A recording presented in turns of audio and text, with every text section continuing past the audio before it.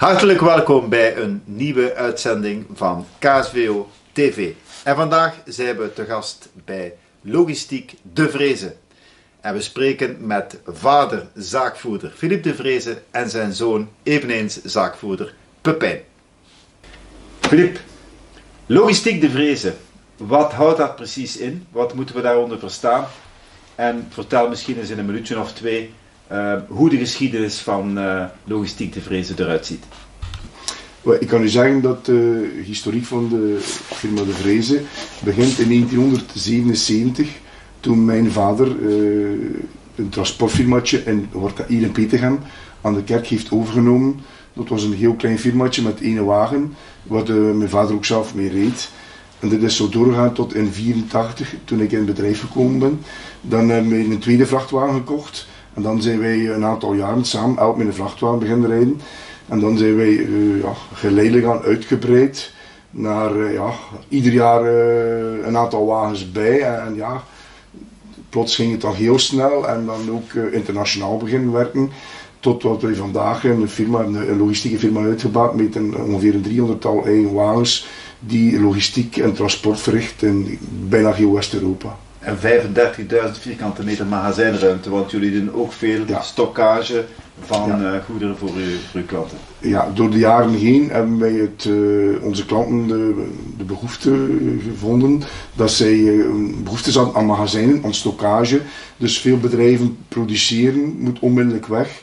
En dan op afroep van de klanten worden er bestellingen geleverd dan in heel West-Europa. Soms is dat kleine dingen, soms moeten we ook nog herverpakken of uh, herpaletiseren. Uh, ja, alle mogelijke uh, dingen zijn mogelijk voor, voordat wij aan de klanten leveren. Er komen ook veel goederen uit China en India hier, die gelost worden via containers.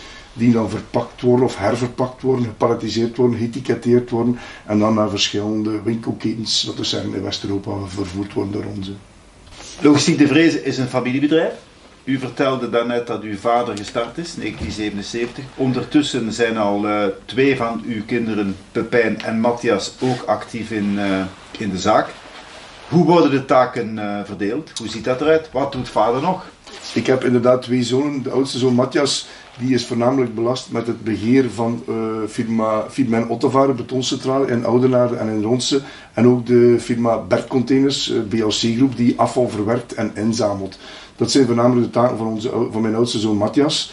Pepijn uh, is meer belast met de vreeslogistiek hier in Oudenaarde en ook met de vrezen containertransport in Antwerpen.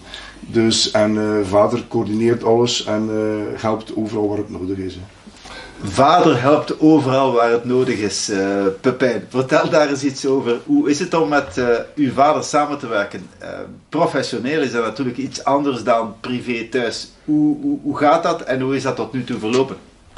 Er, er loopt natuurlijk veel door elkaar, hè. zowel privé als, ja, als zakelijk. Zeker in het begin dat ik in, in de zaak kwam, woon ik ook gewoon nog thuis. Dus werd er zeer veel thuis, zowel thuis als als op bedrijf door elkaar uh, erover gesproken en zo. Maar, uh, Vrachtwagens aan de ontbijttafel. Onder andere. En uh, met momenten, maar andere momenten kosten het ook goed van, van elkaar scheiden. Maar in het begin ja, was al, ik kan niet zeggen van een opstaan, maar geleerd uit veel. gevraagd over veel zaken advies. En toch een beetje proberen je eigen ding te doen.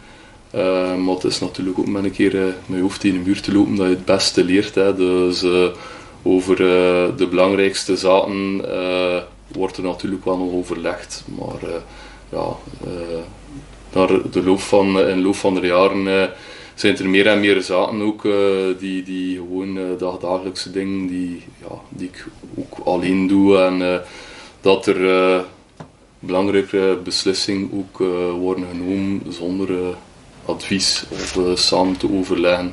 Maar de belangrijkste wordt natuurlijk nog overlegd. Hè. Waarvoor gebruikt je uw vader het meest? Uh, het meest voor uh, de grotere problemen natuurlijk. Hè. Uh, voor, voor de zaken dat je denkt van hoe zou ik dat nu doen? dat je misschien even met je rug tegen de muur staat. En dat je dan een keer gaat in, gaan overleggen hoe dat je het best aanpakt. Hè. Wat is voor jullie bedrijven de grootste uitdaging vandaag? De grootste uitdaging vandaag is toch wel denk ik het chauffeursprobleem in transport. Dat we zo goed mogelijk mee moeten omgaan. plus momenteel... Schaarste aan chauffeurs, ja. magaziniers waarschijnlijk ook. Gewoon personeel in het algemeen. magaziniers, goede mensen bij ons op kantoor hier dus uh, gewoon het algemeen personeelsprobleem. Dat denk ik in elke sector een probleem is momenteel. Maar uh, dat is wel de grootste uitdaging. Plus de koststijging, uh, de, de steeds toenemende regels omtrent transport. Uh, ja. ja, rij- en rusttijden en dergelijke. Wat is de grootste verandering geweest de afgelopen tien jaar, uh, of misschien zelfs twintig jaar, Filip? Uh, je zit er al een hele tijd in. Wat is de grootste verandering? Wat, wat heb je voornamelijk zien veranderen de afgelopen tijd? Well, ik kan nu zeggen dat uh, alles super, super dringend wordt. Als wij vroeger een, een, een, tiental paletjes hadden voor Italië en we haalden dat eraf en de week daarna was dat geleverd, dan waren we helden. En als het nu na drie dagen niet geleverd of na twee dagen nog niet geleverd is, zo is, is het meestal al een probleem.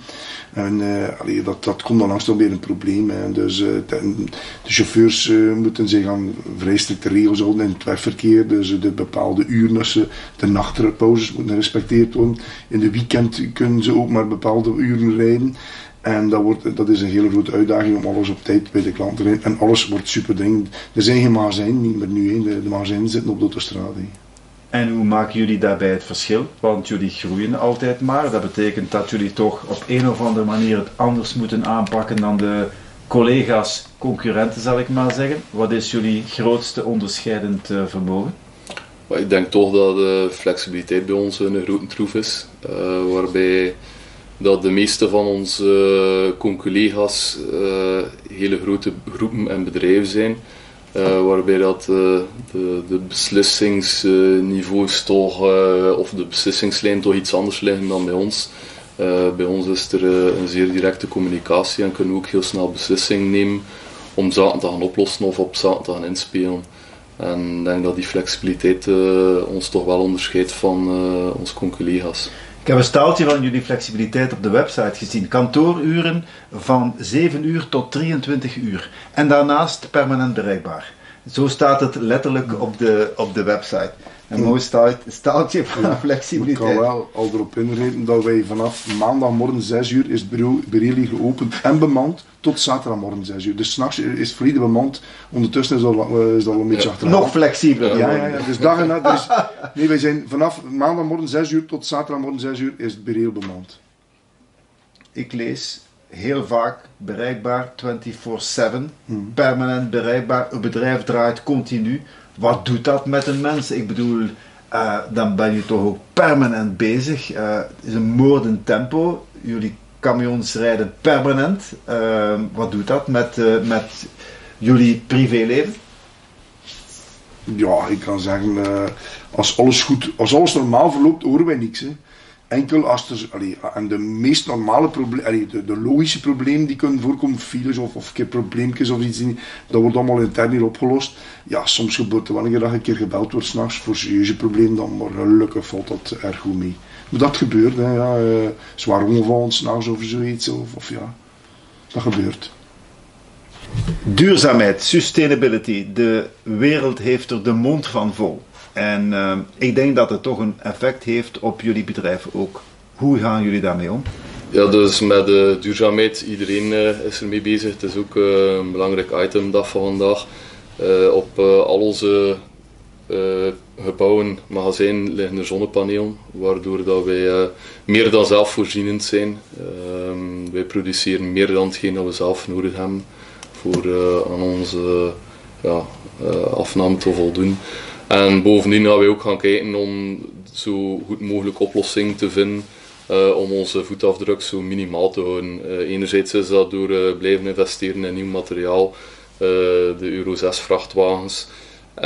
bovendien hebben wij ook een tiental jaar geleden een intermodale verbinding opgezet naar Italië, waarbij dat wij toch dagelijks vijf wagens van de weg houden die anders over de weg naar Italië zouden gaan. Ehm, natuurlijk is het ook wel een moeilijke afweging tussen enerzijds duurzaamheid en anderzijds de kost ervan. Want momenteel is het wel zo in transport alternatieven zoals uh, gas, uh, elektriciteit uh, wegen financieel of zijn financieel nog niet voordeliger dan de alternatieve dieselmotoren, waardoor dat die duurzaamheid vooral op vraag van klanten dan zou moeten komen en ook komt in transport, die bereid zijn om meer te gaan betalen om ja, met duurzamere wagens te gaan rijden. Dus dat is natuurlijk een moeilijke overweging die dan ja, tot op vandaag jammer genoeg in transport eigenlijk vooral van klanten uitgestuurd moeten Maar daar zijn jullie vandaag nog niet mee bezig. Omvorming, omtuning van het wagenpark richting elektrische vrachtwagens, dat is vandaag nog niet aan de orde. Momenteel nog niet, omdat uh, internationaal gezien is dat zeer moeilijk uh, door, de, ja, door het bereik dat je hebt. Uh, anderzijds op distributieniveau zou dat eventueel wel een optie zijn, maar de prijzen momenteel en, en de ontwikkeling ervan is nog niet in die mate om dat, uh, ja, om dat financieel ook interessant te maken uh, naar ons toe. Ik hoorde u net alluderen op uh, Italië en het besparen van een aantal wagens door samenwerking. Is samenwerking bijvoorbeeld met, ik lees VTL Palletways, is dat noodzakelijk vandaag? Kan een transportbedrijf nog overleven zonder samenwerking vandaag? Heel moeilijk. Uh, het is heel belangrijk voor iedereen om samen te werken. Transporteurs onder elkaar, uh, om, om alles te gaan optimaliseren en zo ja, optimaal mogelijk op te rijden, vol te rijden en, en dan ook terug te komen. Een, een wagen die leeg rijdt is, is niet optimaal, zowel niet voor duurzaamheid als voor, voor de rendabiliteit. Dus is maar één oplossing en dat is samenwerken in de sector. De coronaperiode, we kunnen er niet omheen. Hoe is uh, Logistiek de Vreese de coronaperiode doorgekomen? En zijn er zaken, Filip, die je hebt overgehouden, die je gaat blijven doen na corona? Ik kan u zeggen dat uh, vorig jaar, laten we zeggen maart 2020, bij het uitbreken van de corona en de eerste lockdowns, dat dat vrij dramatisch is geweest. De eerste drie tot vijf maanden voor uh, onze firma. Uh, vele grote bedrijven, Bekaert Zweven, Volvo Gent, die hebben vier tot zes weken stilgelegen. Ja, die hadden geen aanvoer nodig, konden ook niet gaan afgewerkte producten wegbrengen. Dus wij zijn op een bepaald moment, vorig jaar, april, mei, op rond 50% van onze activiteiten verminderd. Dat is zeggen, juni, juli, augustus vorig jaar is dan geleidelijk aan terug, teruggekomen. En van september, na, van, na september vorig jaar kunnen wij we min of meer normaal terugdraaien. En nu zitten we wel met een zeer, zeer uh, hoge activiteitengraad. Allee, ja, wij kunnen bijna niet volgen. Dat een inhaalmanoeuvre? Het is een inhaalmanoeuvre, maar ook, het is ook zo. Er zijn, enorm, uh, er zijn veel te weinig uh, camions momenteel. Camions en chauffeurs. Er is een totale schaarste aan, aan camionchauffeurs in heel Europa, ook in Oost-Europa, in Polen, Roemenië. Uh, enorm veel mensen die gewend het beroep vaarwel gezegd hebben, die in andere sectoren begonnen zijn. En uh, het beroep moet aantrekkelijker gemaakt worden. We hebben ook al serieuze loonsverhoging toegestaan in, in, in Oost-Europa. En uh, om toch onze trekkers bemand te houden. Hè. Want jullie hebben inderdaad ook een bedrijf ja. in Polen, daar heb je ja. nog niks over gezegd. Nee, wij hebben ook een uh, zusterfirma in Polen die uh, ook wat eigen activiteiten organiseert in Polen. Maar die dan ook voornamelijk ook wel in onderaanneming werkt voor ons moederbedrijf in, in Oudenaarde en in Antwerpen. En ik moet wel zeggen, in Polen is de het booming business. De lonen stijgen daar spectaculair. je hebt er geen minimumloon, je hebt er ook geen cao's. het is er gewoon de vrije markt die speelt. En dat is natuurlijk iets anders dat wij niet zo gewoon zijn hier. En ik kan u zeggen dat de lonen de laatste jaar of jaar en half in Polen 30 tot 50 procent verhoogd zijn, de netto loon. Dus dat is in West-Europa is dat ongezien. Maar en wij moeten mee of anders kunnen. Da daarom is ook het transportgebeuren veel duurder geworden de laatste maanden. Diesel is ook bijna niet meer betaalbaar, is tot 25, 30 procent duurder geworden na corona. Alle grondstoffen. Um, trekkers, opleggers moeilijk aan te gaan. Nieuw, nieuw, wachttijd van 1 tot 2 jaar. Het wordt een moeilijke periode. Ik hoor u zeggen, Filip, het wordt een moeilijke periode. Bezorgt u dat slapeloze nachten? Ja, ik moet zeggen, ik ben uh, jammer genoeg al 58 jaar jong. En ik moet zeggen, er zijn weinig nachten dat ik niet kan slapen door mijn uh, werkomstandigheden. Uh, relativeren, dat is iets wat men leert naarmate men ouder wordt. En uh, ik heb weinig slapeloze nachten. Ik neem mijn problemen niet mee naar mijn slaapkamer, bij manier van spreken. De dagelijkse zorgen. ik heb er heel weinig last van. En omgekeerd, waar is Philippe de Vreese het meest fier op? Je zit 35 jaar, meer zelfs in het vak. Of is het iets anders? Bah, nee, ik kan zeggen, allee, ik heb dat overgenomen van mijn vader. Uh, beiden met één vrachtwagen gereden. Nu, ik weet niet hoeveel jaren later, met twee zoons in het bedrijf gekomen. Kom goed overeen, onderling hebben we een heel goede relatie. En we mogen toch vier zijn op hetgeen wat we bereikt hebben. We werken toch in totaal met een 300 mensen in België en 150 mensen in Polen.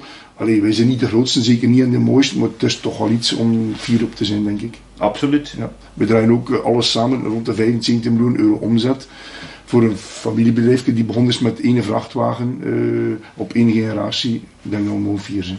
Blijft er dan wel nog tijd over voor vrije tijd als ik dat allemaal hoor? En, uh, ja. Hoe ziet hij eruit? Uh, wel, ik ben nogal een voetballiefhebber en er zijn waarschijnlijk weinig weekends dat ik geen match meepik. En uh, ik ook nog een keer een pintje met de vrienden op café. En uh, allee, ja, een beetje sociaal contact. Allee, ik ben een vrij sociaal mens. En uh, ik ga liefst vooral nog een keer in het stamcafeetje in Peter aan de kerk nog een pintje gaan drinken. en overal links en rechts. En, ja, kunnen ook veel mensen. En ook gebonden aan de gemeente. Wortegem, Petegem, een ja. echte, ik weet niet hoe dat dan noemt. Wortegem, Petegemiaan, ik weet niet of dat ja, daar een woord voor staat. Petegem naar, oké. Okay. Um, daarop alluderend, de, de discussie waarover ik een en ander heb gelezen rond de, de Klemmenstraat, raakt u dat dan? Uiteraard, uiteraard. Ik ben geboren en getogen Petergem daar.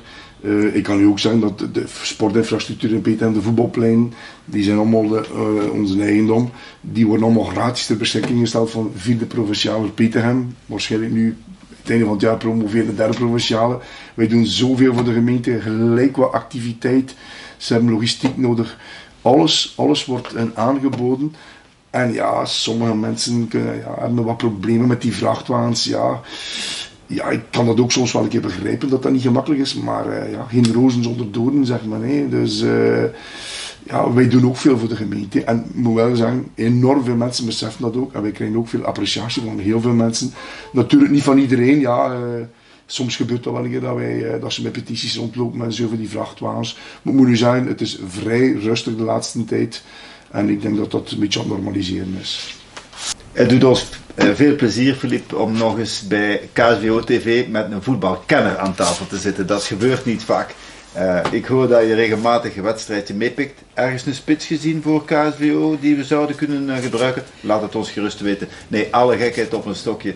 Wat betekent voetbal voor u en, en, en naar welke wedstrijden ga je dan kijken? Ik kan u zeggen, ik ben uh, altijd ook uh, zelf speler geweest van mijn ja, 10, 12 jaar tot rond mijn 20 jaar, tot ik zelfstandig begonnen ben. Waar? Waar heb je gespeeld? Heb ik altijd bij FC Peter gespeeld hier in de vierde provinciale. Goed, dat was niet maar het was uh, een beetje sport doen als je, als je jong bent, dat is interessant. En ook uh, sociale contacten met de mensen van uw gemeente of, rond, of mensen die rond uw gemeente wonen. En ik moet eerlijk zeggen, ja, ik ga nog af en toe naar FC Peterhem kijken. Ik ben wel supporter ook van Zulte Waregem, uh, waar ik tot de meeste thuismatchen probeer erbij te zijn. Dat lukt niet altijd, maar goed, ja. Ik kom ook eenmaal een keer wedstrijd meepikken van uh, eh, KSVO.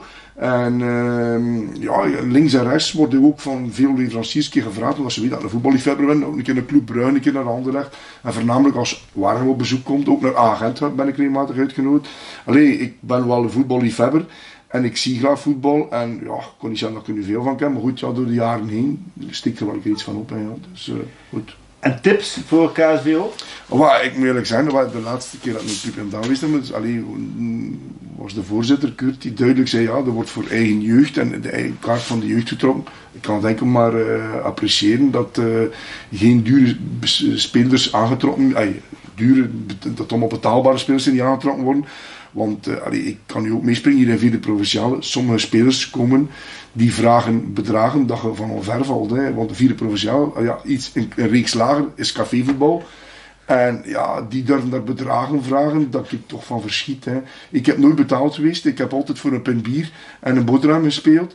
En, als we een keer won of twee keer na elkaar won kregen, een soupeetje of een mossensoepé, of moesten we even gaan eten. En dat was het. Hè. Maar nu, ja, als je nu geen, uh, geen serieus bedragen betaalt, zelfs in veel provinciale, je geen spelers meer. Ik vind dat een beetje, ja, een beetje triest, maar goed, ja, het is nu zo. Het is een, heel, een teken, niet enkel het voetbal, maar alle mogelijke dingen, dat ja, alles moet draaien om geld nu. Hè. Jammer genoeg. Uiteraard wil ik eh, afsluiten, Filip, met u uh, van harte te bedanken voor uh, de jarenlange samenwerking met KSV Oudenaarde op verschillende vlakken. Omdat je regelmatig kon kijken als sponsor, maar ook als volgens mij oudste lid van onze Club 81. Club 81 die al een hele tijd meedraait en waar u denk ik een van de eerste leden was en nog altijd een trouw lid van zijt op dit moment. We zijn u daar heel dankbaar voor en we hopen dat die samenwerking, um, um, die gestoeld is op een wederzijds respect, dat we die nog heel lang mogen verder zetten. Dank u wel en tot binnenkort. Ja, geen probleem.